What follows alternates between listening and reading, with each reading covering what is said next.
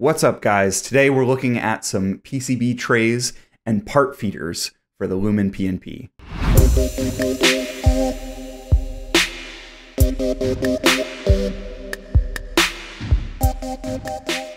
I'm still setting everything up in OpenPNP and I haven't configured every little bit yet. I have it moving around, I have it picking up parts, um, I have it placing them, uh, but I just wasn't really thrilled with how the uh, feeder trays and the PCB holder uh, was set up, at least the ones that I got with the kit. So I redesigned them.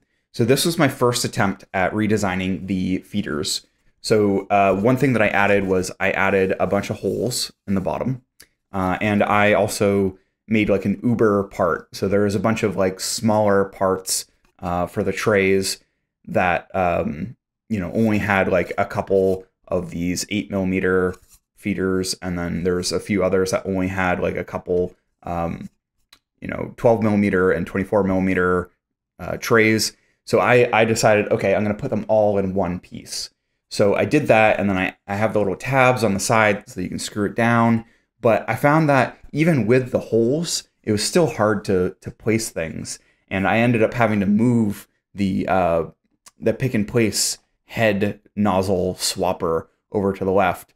But then when I did that, then in the future, when I add a second head to it, I wouldn't be able to have the, the second pick and place head come in and do the tool change because it was too far over to the left.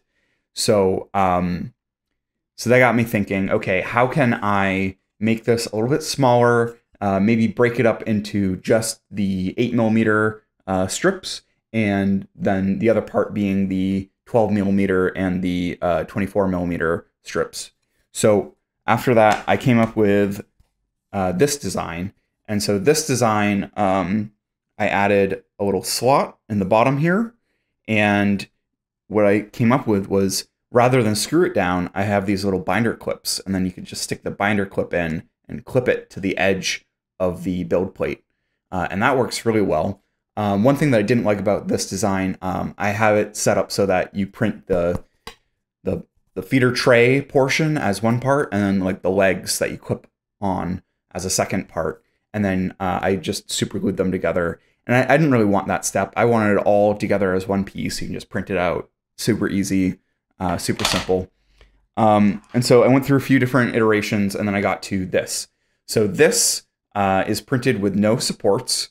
Uh, you can see at the bottom there's quite a bit of sagging because it's bridging all the way across that. Uh, so when you're printing this, uh, make sure that you have at least four bottom layers because uh, it's going to take a little bit to build up enough support to have something to, to print on top of uh, just because that bridge is just so long. But um, yeah, so it's it's doesn't quite have as much weight to it. It can be printed all in one piece. Uh, it's got a lip on the side for the clips to go on. Um, the the clips, the parts clear it so you can just barely slide them through there. Um, and I, I, I designed it so that it could be printed on the plate like this. Uh, the one that was included in the Lumen PNP kit was designed to be printed vertically, uh, which I that's just terrifying to me. Uh, so I, I put some chamfers in the slots that run down the length uh, and so that allows you to just slide the part in and uh, it doesn't need any support when it's printing that bit. So this is the feeder tray portion.